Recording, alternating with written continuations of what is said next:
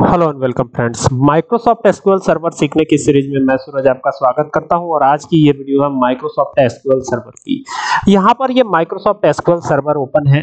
अगर आप कोई भी डेटाबेस बनाना है तो जनरली हम क्या करते थे? यहाँ से जाते थे राइट क्लिक करते थे और न्यू डेटाबेस पे चले जाते थे।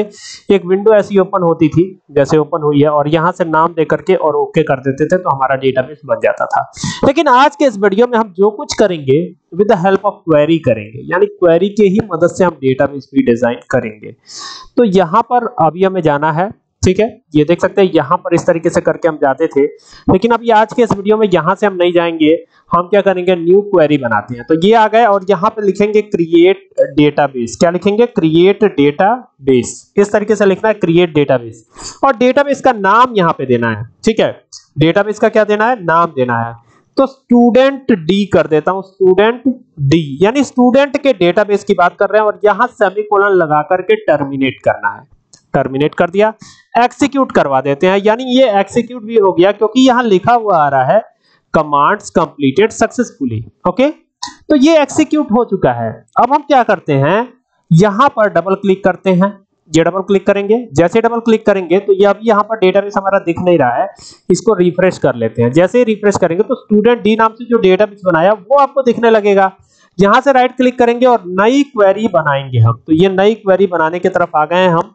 और अब इसमें हम टेबल बनाएँगे with the help of query तो क्रिएट टेबल लिखेंगे यहाँ पे टेबल बनाने के लिए और टेबल का नाम देंगे। तो स्टूडेंट टी दे देते हैं इस बार। टी यानी टेबल और यहाँ पे स्टूडेंट का रोल नंबर आएगा तो ये लिखा रोल अंडरस्कोर नंबर ठीक है? ये लिख दिया रोल नंबर। अब इसको रखेंगे int data type integer data type comma देंगे। ठीक है? अगर इसको प्राइमरी की बनाना चाहते हैं तो आप प्राइमरी की भी बना सकते हैं। यहाँ पर लिखता हूँ नेम ऑफ़ स्टूडेंट तो ये लिखा name underscore of underscore student underscore लगाइएगा, इससे आपको आसानी होगी। ठीक है?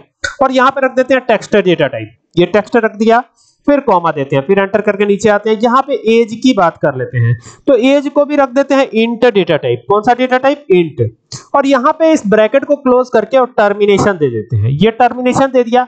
अब यहाँ से एग्जीक्यूट कर दीजिए इसको। जैसे ही एग्जीक्यूट करेंगे तो नीचे लिखा हुआ आ रहा है कमांड्स कंप्लीटेड सक्सेसफुली देख सकते हैं? अब यहाँ पर क्या करना है? डबल क्लिक करना है। जैसे ही डबल क्लिक करते हैं तो यहाँ टेबल्स नज़र आता है। तो टेबल पे डबल क्लिक कर दीजिए तो आपका टेबल बन गया। नीचे देखिए, आपका डेटाबेस तैयार हो गया। dbu.student लिखा हुआ आ रहा है।